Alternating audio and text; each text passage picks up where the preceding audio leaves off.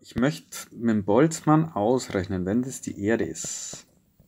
Welche Temperatur hat die Erde in Grad Celsius? Und zwar, wenn ich sage, hier ist die Sonne und die strahlt Energie ein. Ja, und alle Energie, die, die auf die Erde einstrahlt, die wird wieder abgestrahlt. Das ist so ein Gleichgewicht.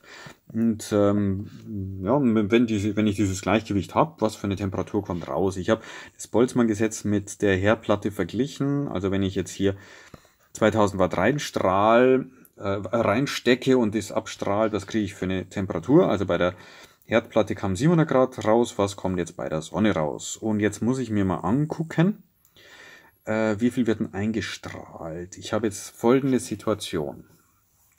Äh, ich habe also an der Stelle die Sonne. Und ich weiß, wo habe ich die, die Konstante? Hier ist es.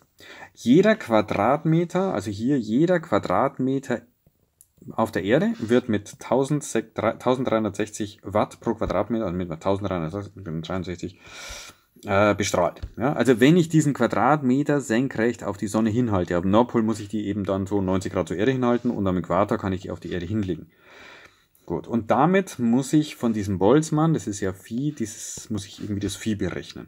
Und dann strahle ich ab. Und dieses die Gesamtleistung, die auf die Erde eingestrahlt wird, die ist eben nicht so ganz einfach, aber dann doch wieder. Und zwar denke ich mir eine Kreisfläche mit dem Radius der Erde, die würde die komplette Erde beschatten. Und die ist senkrecht. Jeder Quadratmeter dieser Kreisfläche hat 1360 Watt. Und damit bekomme ich die Gesamtleistung, die auf die Erde eingestrahlt wird. Und jetzt mal hier so die Geschichte. Also das ist der Boltzmann.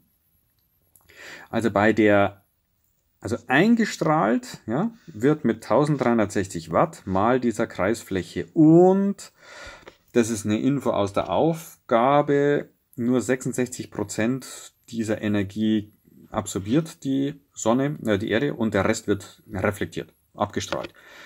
Gut, das habe ich jetzt hier so ein bisschen, ja. Also 66 Prozent geht rein, der Rest geht raus und dann an der Stelle abgestrahlt wird über die ganze Oberfläche. Also da habe ich jetzt hier die Formel für, die, für den Kreis, 4pi r Quadrat.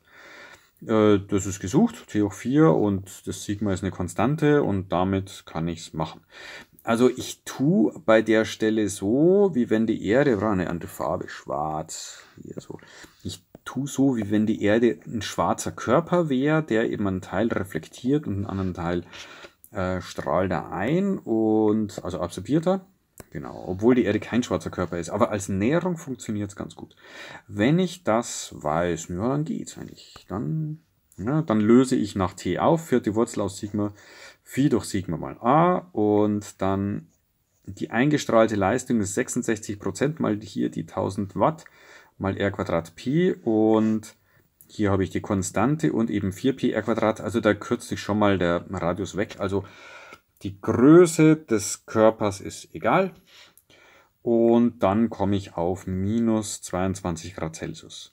Und es sind aber, ich weiß aber, dass die Erde im Schnitt 15 Grad Celsius, kann ich googeln. Ja, und die mögliche Erklärung ist der natürliche Treibhauseffekt. Also nicht möglich, sondern das ist die Erklärung.